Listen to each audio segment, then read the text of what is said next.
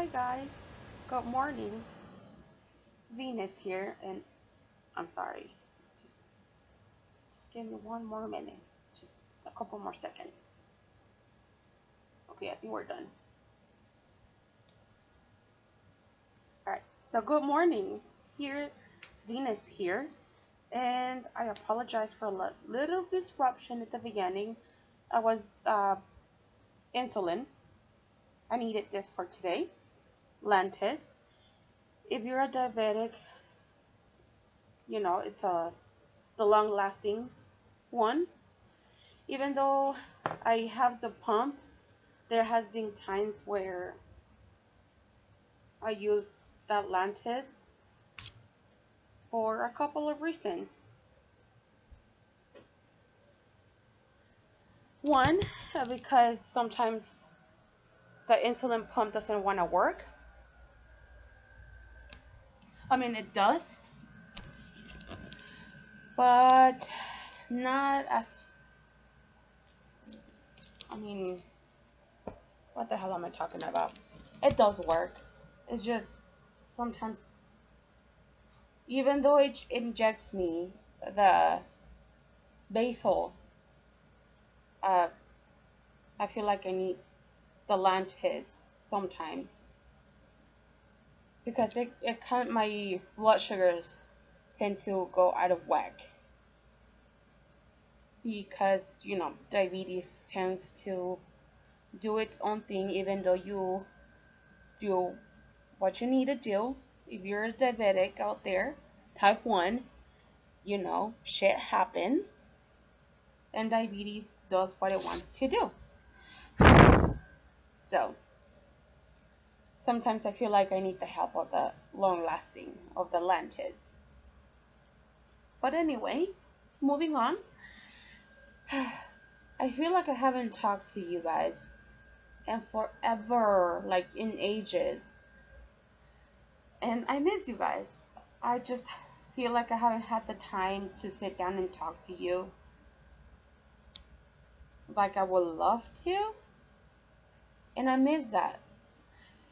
For one, I'm I'm school. I second semester, past semester, coming back to school has got me, oh my goodness, all worked up. It shouldn't, but after 10 plus long years returning to school, it's frustrating but exciting and I'm trying to figure out my way around. And since this semester I'm um I'm taking online classes, it feels out of whack. Kind of. Because like I said before, it's it's been a, a really long time since I've been in school. And I feel like it's out of whack for me especially for the online classes. Like I feel lost in a way with the online classes. Eh, so I'm trying to just figure out my way around. Which I'm not gonna lie, I've been, I have good, I've been having, been getting good grades lately, especially on the te on the quizzes and exams. There's a lot of studying, a lot of reading. I'm not gonna lie. So there's a lot of that because you know for online classes you're responsible for your own learning and such. So that's that. And but it's, oh, it's crazy. It's it feels like it's been crazy for me at least lately with the online classes. I'm only taking two this semester, which one of them is a repeat class to get a better grade, which is Psychology 101, and the other one is Sociology 101. I feel like this semester I'm finding sociology a little bit easier than psychology for some reason. Or a little bit more interesting. And they're both 101, but I don't know. I'm finding sociology, the class at least, a little bit more interesting. Not that psychology isn't. It, it really is. It's just I don't I don't know. I don't know how to explain it. It just feels a little bit easier or a little bit more interesting in a way. I mean, though the chapters for the psychology book are really, really long, I'm not gonna lie. But it is what it is, right? So, but anyway, I just want to know how's everybody doing. It's been a long, long time since I've talked, since I've sat down and talked to you guys. So, oh, and my nephew was born uh, sometime last month on the middle of the month born a couple a few days earlier than expected which I'm excited. Oh my goodness he was born a tiny little thing. Oh my goodness I'm excited. My nephew's finally here. So I'm excited. Oh my goodness. Oh my goodness. I honestly thought my nephew was going to be an October baby. But he ended up being a September baby. But it's, which is still fine. I'm not complaining. Hey. So, my mom, too. She's really excited that she's a grandma now. I mean, at the beginning, she was like, oh crap, I'm a grandma now? What the heck?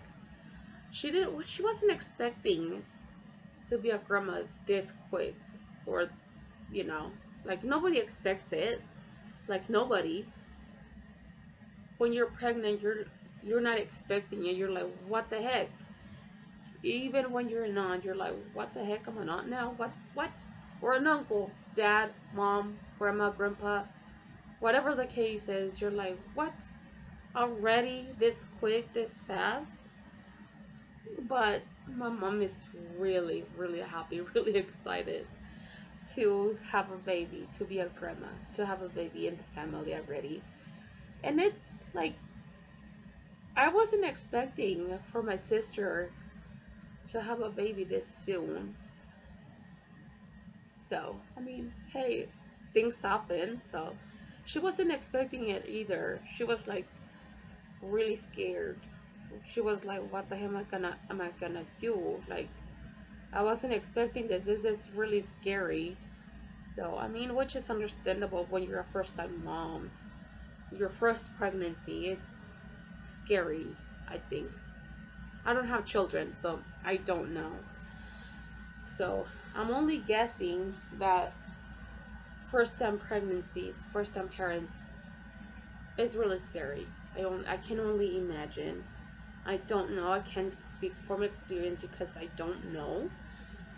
I'm not a mom. I mean, unless you count Toby as my child, then I guess, yes.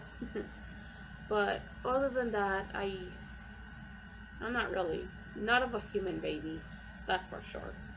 Of a fur baby, yes. Just not a human one.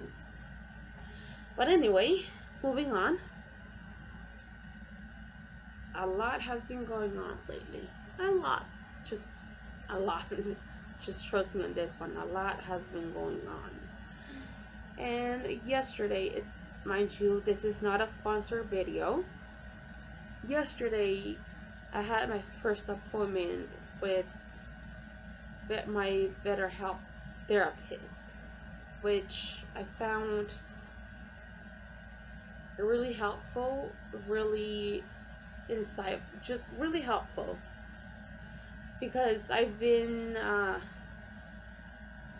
trying to look for a therapist that works for me and that listens, that is willing to listen to me and not cut me off. Mind you, yesterday was the first uh, appointment, so I can say for sure, for sure, I need a couple more sessions. But I felt like it was a good match for the first session, which I'm happy. And I feel like this time around is really gonna help, hopefully. Because I found that in person the last in-person appointment wasn't really a match. Because to me, a therapist or a psychologist is supposed to sit in front of you and look at you with a notepad and a writing utensil, pen, pencil, whatever, and pay attention to you and look at you and give you the time of day. And that, that's for me, to me, what a therapist is. And the last in-person therapist, uh, he was, he was, I felt like he wasn't giving me the time of day. He was, or I think he was the therapist or the assessor of to what therapist to send me to. He was just looking at his computer. I mean, which it could have been that um, that he was making his notes and clicking buttons, what whatever the case is. But him looking at his computer, it just made me feel like he wasn't giving me the time of day. Like I, like it didn't matter first second like to me paying attention to his to his computer more than to me as a client made me feel like I wasn't gonna be hurt like he wasn't listening to me. And that made me not want to go back. And uh, to me personally I did not like that. Because like I mentioned before a therapist or whoever it is is supposed to sit in front of you with a freaking notepad and a writing utensil taking notes giving you the time of day because that's what you're paying them for to give you the time of day and for them to listen to you and you know taking notes on their notepad to see what the heck, you know, to who they're gonna send you to, what is your issues and what you've been dealing to and such, you know, all those such things. So I just felt like that wasn't a good match. And that made me feel uncomfortable, not heard, not being listened to. And that just disappointed me. And like I said that's what made me not want to go back. And it took me a little while to oh up until now to look for another therapist or therapy thing for a lot of my issues that I've dealt with, that I've been dealing with, that I don't know how to deal with on my own. I know I need help. We all do. So this time around I, I was giving it a really good thought. I was thinking about it really really hard about that. And like I need the help. I really do. I'm not saying I'm this perfect amazing person that that's um, that has no problems.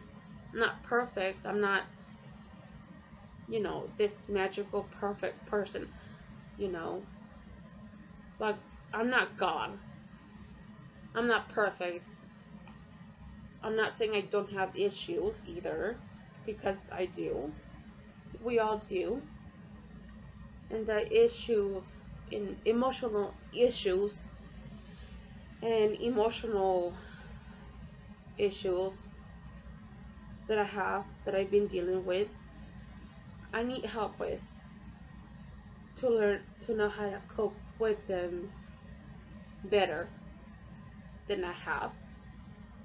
So I feel I've been for a long, long time. I think, oh gosh, I don't want to cry. Um, for a long time, I've been, I've been feeling angry,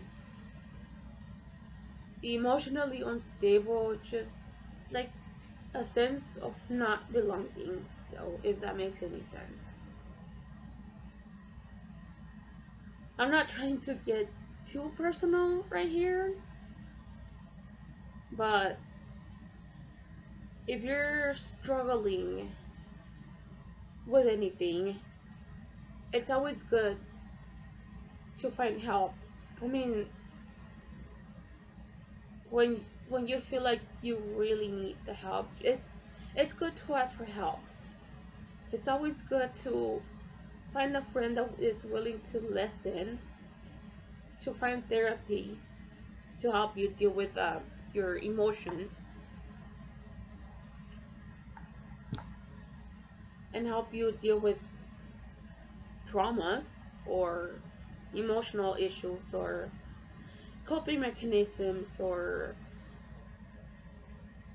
addictions such as alcohol and drug or whatever it is, it's always as good to ask for help, to look for help. It's good. You're taking the step ahead and are willing to admit that you do need help. And that and that's always a good thing. That's good. Though many people may find it ridiculous or say, "Oh, you're you're this, you're that, you're stupid, you're being dumb, you're weak, whatever the case is. You're not. You're taking care of yourself. You're admitting that you need the help.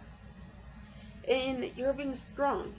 You're you're stepping you're step you're putting a step ahead for yourself to make yourself a better person the better person that you were yesterday to be a better person tomorrow. And that's always good. It's always good to admit, admit that you need help when you know you need it. So for whatever the case is that you need it for. So I feel like you should, if you believe and you know if you think you need help for whatever XYZ reason, go ahead. Find your therapist, friend, or something or somebody that is gonna listen to you and help you deal with whatever XYZ thing you're going through, trauma, addictions, or whatever the case is. I feel like it's good that to ask for help and look for help if you really need it, if you're struggling. So, I hope this time around with BetterHelp helps me in ways that I feel like that I think that I'm want that I wanted to help me with, like past traumas and such. So. I'm not going to speak about it, or at least not at the for the time being, because I feel like that that that's very personal and it's I don't want it to trigger uh, certain aspects of my life. I don't, or at least not at, not at the moment. So maybe in the future, in a future video, I will talk about it probably. Just not at the time being, so. But anyway, so I just wanted to come and talk to you guys and let you guys know that everything's been going great with me lately. Like I said before, I feel like it's been a long time that I've talked, that I sat down and talked to you guys for any reason, so. And I wanted to check in with you guys too and wondered how you guys were feeling today and how were you guys doing and and happy October. And we're a spooky season. I mean I'm not decorated in here but I feel in the spirit I like I, I love spooky season. So huh, it's well I will need the time to to decorate. Just not at the time being though. But maybe probably in the next video you guys see you guys will see a little bit of Halloween spooky or probably not I don't know because you know I've been basically with school and late on my rent. I mean I paid part of my rent on time just not I'm paying the rest of my rent on the next pay on the and next week. And I don't know what the hell am I gonna do because my my bank is overdrawn. That's not good. I don't like I'm I'm poor. I'm like fucking poor. I have no money no nothing with me. Like I'm I'm fucking poor. Like literally freaking poor. My bank account is on the negative and that's not good. Like 300 plus overdrawn and that's not good. That is really not good. I don't like this. So I don't know what the heck am I gonna do? Like 300 plus overdrawn on my bank account? This is not good. And on top of that I'm late on part of my rent which is which probably majority of my check is gonna pay for that money I'm overdrawn on the bank. And just the leftover money will be to pay the rent. Probably and probably part of the insurance my insurance too. Because I, I still haven't paid my insurance. And I don't think I'm gonna have the money to pay my insurance. And this is not good oh well I have a lot of issues this month. I, I do. I have a lot of fucking issues. I don't know what to do anymore. So but anyway enough of my issues. So I hope you guys have a wonderful spooky October, spooky season and October season. So I hope you guys are having a lovely, wonderful day or night or evening wherever you are in the world. Right now in Las Vegas, Nevada, it's 10.30 in the morning, so good morning and good evening or good night wherever you are in the world. I hope you are having a great, lovely, wonderful day, evening, or night, wherever you are in the world. So, and happy spooky season. I will talk to you guys next time. Bye.